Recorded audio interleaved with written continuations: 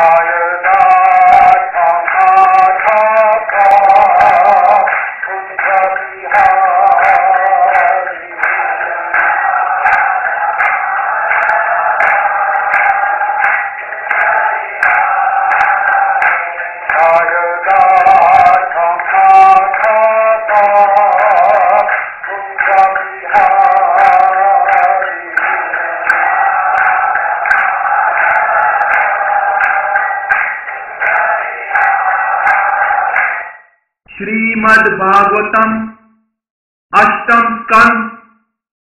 अध्याय सात शिव जी द्वारा विस्पान से ब्रह्मांड की रक्षा।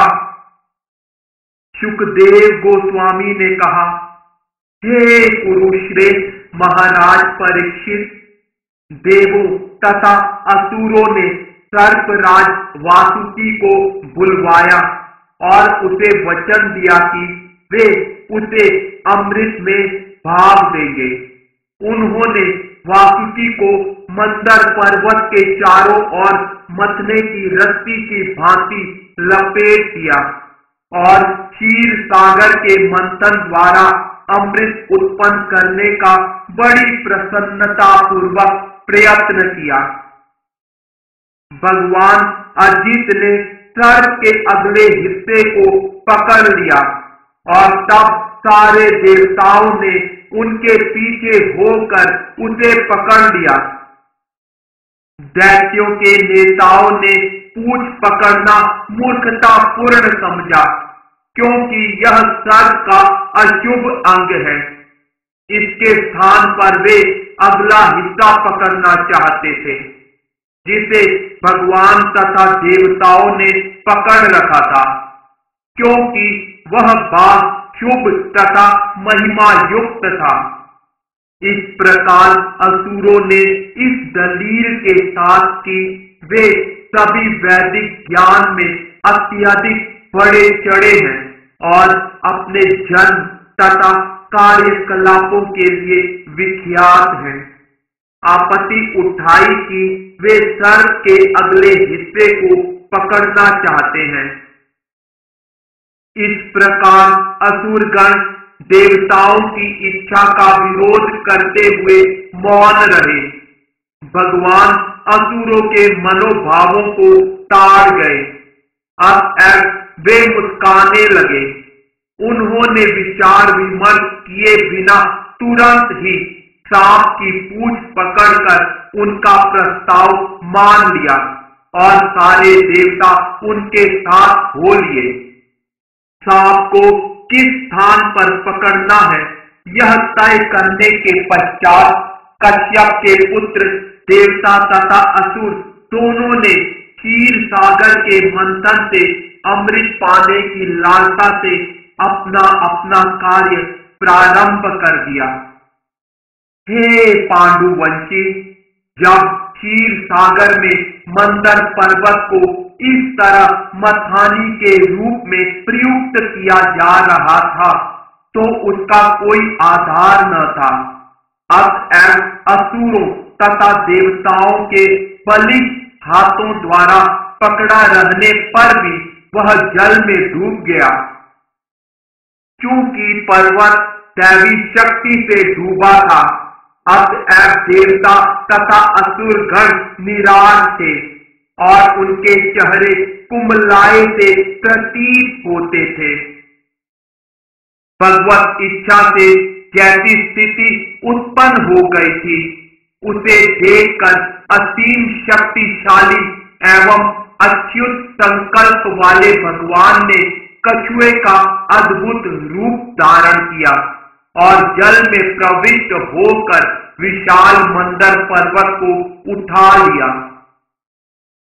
जब देवताओं तथा असुरों ने देखा कि मंदर पर्वत उठाया गया है तो वे प्रफुल्लित हो गए और पुनः मंथन करने के लिए प्रोत्साहित हुए। यह पर्वत विशाल कछुए की पीठ पर टिका था। जो एक विशाल द्वीप की भांति आठ लाख मील तक फैला हुआ था। हे राजन, जब देवताओं तथा असुरों ने अपने बाहुबल से अद्भुत कछुए की पीठ पर स्थित मंदर पर्वत को घुमा घुमा दिया तो कछुए ने पर्वत के इस घूमने को अपना शरीर खुजलाने का साधन मान लिया। इससे उसे अत्यंत सुखप्रद अनुभूति हुई। तत्पश्चात भगवान विष्णु उन सबको प्रोत्साहित करने एवं विभिन्न प्रकार से शक्ति देने के लिए असुरों में रजोगुण के रूप में, देवताओं में सतोगुण के रूप में तथा वासुकी में तमोगुण के रूप में प्रविष्ट हो गए। तब मंदर पर्वत की चोटी पर भगवान ने अपने आप को हज़ारों भुजाओं सहित प्रकट किया, जो अन्य विशाल पर्वत की तरह लग रहे थे। और एक हाथ से मंदर पर्वत को पकड़े रखा, तब ब्रह्मा, शिव, इंद्र तथा अन्य देवताओं ने उच्च लोकों में भगवान की स्तुति की और उन पर फूलों की वर्षा की। देवता तथा असुर अमृत के लिए मानो मत वाले होकर कार्य कर रहे थे, क्योंकि भगवान ने उन्हें प्रोत्साहित कर रखा था। वे पर्वत के ऊपर और नीचे सभी जगह थे और वे देवताओं, असुरों वासुकी तथा पर्वत में भी प्रविष्ट हो गए। देवताओं तथा असुरों के बल से क्षीर सागर इतनी शक्ति के साथ विलोड़ित हो रहा था कि जल के सारे मगरमच्छ अत्यधिक विचलित हो उठे। तो भी समुद्र का मंथन इस तरह चलता रहा। वासुकी के हज़ारों नेत्र तथा मुख थे। उसके मुख से धुआँ तथा अग्नि की लपटें निकल रही थी, जिससे पोलोम, कालेय, बलि, इलवल आदि असुरगण पीड़ित हो रहे थे। इस तरह सारे असुर जो जंगल की आग से जले हुए सरल वृक्ष की भांति प्रतीत हो रहे थे धीरे धीरे शक्तिहीन होते गए। क्योंकि वासुकी की दहकती सांस से देवता भी प्रभावित हुए थे। अतएव उनकी शारीरिक कांति घट गई और उनके वस्त्र, मालाएँ, आयुध तथा उनके मुख मंडल धुएँ से काले पड़ गए। किंतु भगवत कृपा से समुद्र के ऊपर बादल प्रकट हो गए और वे मूसलाधार वर्षा करने लगे। समुद्री लहरों से जल के कण लेकर मंद समीर बहने लगे, जिससे देवताओं को राहत मिल सके। जब श्रेष्ठतम देवताओं तथा असुरों के द्वारा इतना उद्यम करने पर भी क्षीर सागर से अमृत नहीं निकला तो स्वयं भगवान अजीत ने समुद्र को मथना प्रारंभ किया। भगवान श्याम बादल की भांति दिख रहे थे। वे पीले वस्त्र पहने थे। उनके कान के कुंडल बिजली की तरह चमक रहे थे और उनके बाल कंधों पर बिखरे हुए थे। वे फूलों की माला पहने थे और उनकी आँखें गुलाबी थी। विश्व भर में अभय देने वाली अपनी बलिष्ठ यशस्वी भुजाओं से उन्होंने वासुकी को पकड़ लिया और वे मंदर पर्वत को मथानी बनाकर समुद्र का मंथन करने लगे। जब वे इस प्रकार व्यक्त थे तो वे इंद्र नील नामक सुंदर पर्वत की भांति प्रतीत हो रहे थे।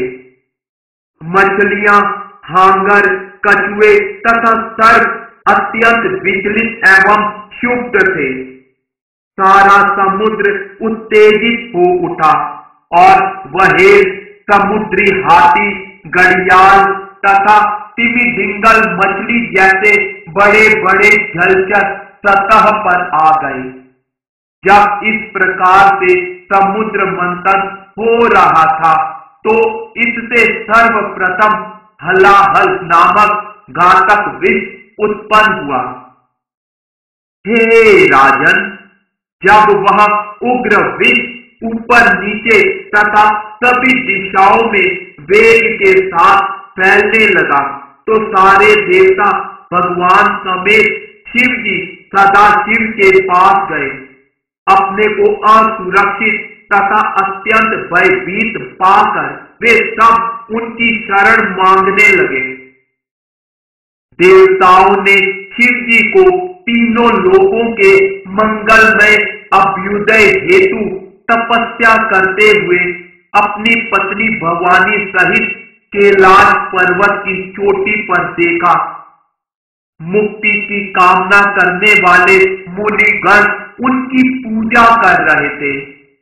देवताओं ने उन्हें प्रणाम किया और आदर पूर्वक प्रार्थना की। प्रजापतियों ने कहा, हे देव श्रेष्ठ महादेव, हे समस्त जीवों के परमात्मा तथा उनकी सुख समृद्धि के कारण, हम आपके चरण कमलों की शरण में आए हैं। अब आप तीनों लोकों में फैलने वाले इस उग्र विश्व से हमारी रक्षा करें। हे प्रभु, आप सारे विश्व के बंधन तथा मोक्ष के कारण हैं, क्योंकि आप इसके शासक हैं। जो लोग आध्यात्मिक चेतना में बड़े चढ़े हैं, वे आपकी शरण में जाते हैं। अतएव आप उनके कष्टों को दूर करने वाले हैं। और आप ही उनकी मुक्ति के कारण हैं। अतएव हम आपकी पूजा करते हैं। हे प्रभु, आप स्वयं प्रकाशित तथा सर्वश्रेष्ठ हैं। आप अपनी निजी शक्ति से इस भौतिक जगत का सृजन करते हैं। और जब आप सृष्टि, पालन तथा संहार का कार्य करते हैं तो ब्रह्मा, विष्णु तथा महेश्वर के नाम अपना कर करते हैं। आप समस्त कारणों के कारण आत्म प्रकाशित अचिंत्य, निराकार ब्रह्म है, जो मूलतः पर ब्रह्म है। आप इस दृश्य जगत में विविध शक्तियों को प्रकट करते हैं। हे स्वामी आप वैदिक ज्ञान के मूल स्रोत हैं। आप भौतिक दृष्टि प्राण, इंद्रियों, पाँच तत्वों, तीन गुणों तथा महत के मूल कारण हैं। आप नित्य काल, संकल्प तथा सत्य और रित कही जाने वाली दो धार्मिक प्रणालियाँ हैं। आप तीन अक्षरों अ तथा म वाले ओम शब्द के आश्रय हैं। हे समस्त लोगों के पिता, विद्वान लोग जानते हैं कि अग्नि आपका मुख है, पृथ्वी आपके चरण कमल है, आप निखिल देव रूप हैं, नित्य काल आपकी गति है, सारी दिशाएँ आपके कान हैं। और जल का स्वामी वरुण आपकी जीव है।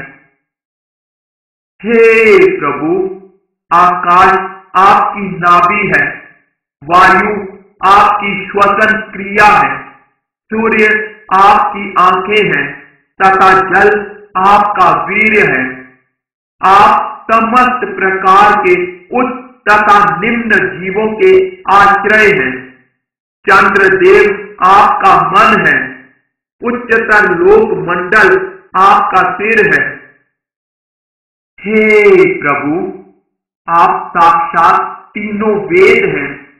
सातों समुद्र आपके उदर हैं और पर्वत आपकी हड्डियाँ हैं। सारी औषधियाँ, लताएँ तथा वनस्पतियाँ आपके शरीर के रोए हैं। गायत्री जैसे वैदिक मंत्र आपके शरीर के सात कोष हैं और वैदिक धर्म पद्धति आपका हृदय है। हे प्रभु, पाँच महत्वपूर्ण वैदिक मंत्र आपके पाँच मुखों के घोटक हैं, जिनसे अड़तीस महत्वपूर्ण वैदिक मंत्र उत्पन्न हुए हैं। आप शिव नाम से विख्यात स्वयं प्रकाशित हैं। आप परमात्मा नाम से प्रत्यक्ष परम सत्य के रूप में स्थित हैं। हे भगवान, आपकी छाया अधर्म में दिखती है, जिससे नाना प्रकार की अधार्मिक दृष्टियाँ उत्पन्न होती हैं। प्रकृति के तीनों गुण सत्व रज तथा तमो आपके तीन नेत्र हैं। छंदों से युक्त सारे वैदिक ग्रंथ आपसे उद्भूत हैं, क्योंकि उनके संग्रहकर्ताओं ने आपकी कृपा दृष्टि प्राप्त करके ही उन शास्त्रों को लिखा। हे गिरीश चूँकि निराकार ब्रह्म से सतो रजो तथा तमो गुणों से परे हैं अतएव इस भौतिक जगत के विभिन्न निदेशक लोकपाल न तो इसकी प्रशंसा कर सकते हैं, न ही यह जान सकते हैं कि वह कहाँ है। वह ब्रह्मा, विष्णु या स्वर्ग के राजा महेंद्र द्वारा भी ज्ञेय नहीं है। जब आपकी आँखों से उद्भूत लपटों तथा चिंगारियों से प्रलय होता है तो सारी सृष्टि जलकर राख हो जाती है। तो भी आपको पता नहीं चलता कि यह कैसे होता है। अतएव आपके द्वारा दक्ष यज्ञ, त्रिपुरासुर तथा कालकूट भी विनष्ट किए जाने के विषय में क्या कहा जा सकता है? ऐसे कार्यकलाप आपको अर्पित की जाने वाली स्तुतियों के विषय नहीं बन सकते।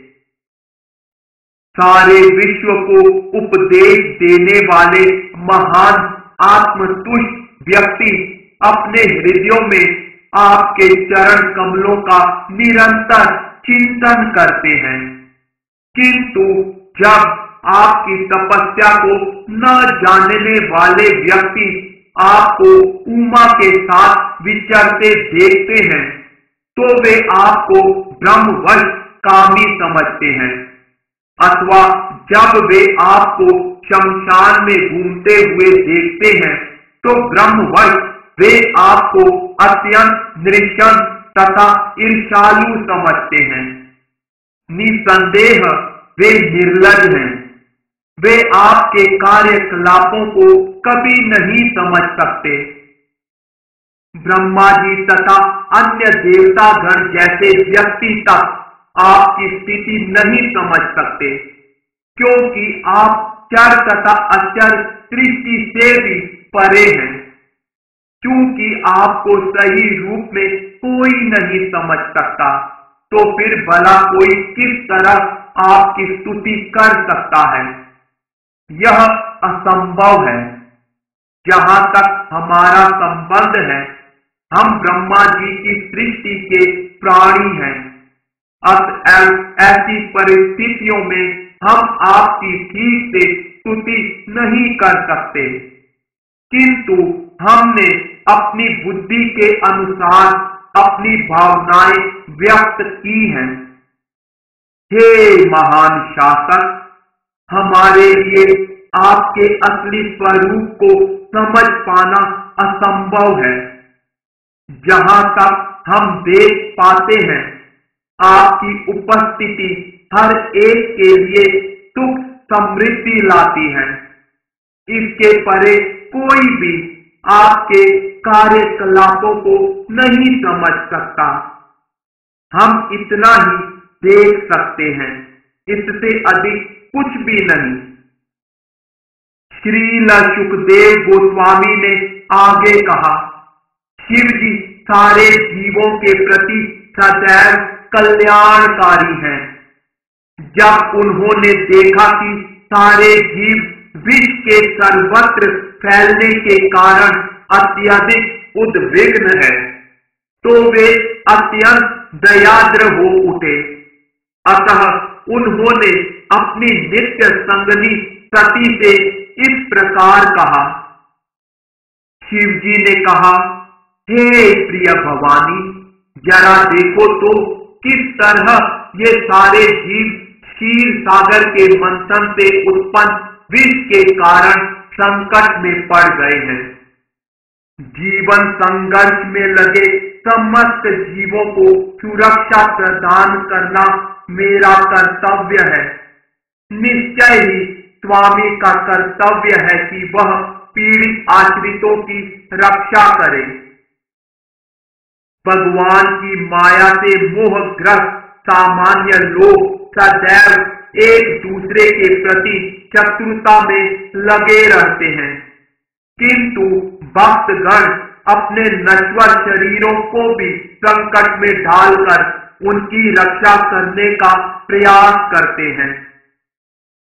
हे मेरी भद्र पत्नी भवानी, जब कोई दूसरों के लिए उपकार के कार्य करता है तो भगवान हरि अत्यधिक प्रसन्न होते हैं। और जब भगवान प्रसन्न होते हैं तो मैं भी अन्य सारे प्राणियों के साथ अत्यधिक प्रसन्न होता हूँ। मुझे यह विष पीने दो, क्योंकि मेरे कारण सारे जीव इस प्रकार सुखी हो सकेंगे।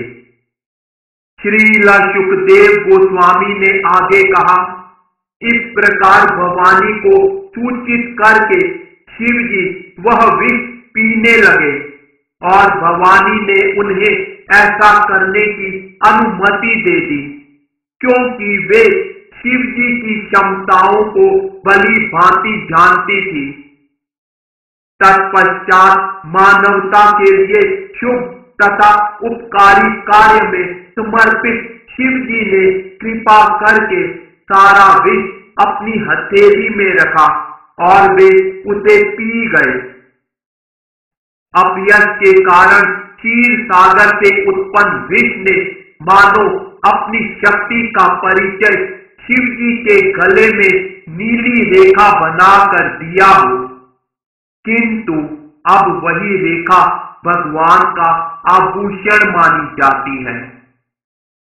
कहा जाता है कि सामान्य लोगों के कष्टों के कारण महापुरुष सदैव स्वेच्छा से कष्ट भोगना स्वीकार करते हैं। प्रत्येक व्यक्ति के हृदय में स्थित भगवान को पूजने की यह सर्वोच्च विधि मानी जाती है। इस कार्य को सुनकर भवानी दक्ष कन्या, ब्रह्मा, विष्णु समेत सामान्य लोगों ने देवताओं द्वारा पूजित और लोगों को वरदान देने वाले शिव जी के इस कार्य की पूरी पूरी प्रशंसा की। जब शिव जी विषपान कर रहे थे, उस समय उनके हाथ से जो थोड़ा सा विष गिरकर छितर गया। उसे बिच्छू सर, विषैली औषधियाँ तथा अन्य पशु जिनका दंश विषैला होता है, पी गए।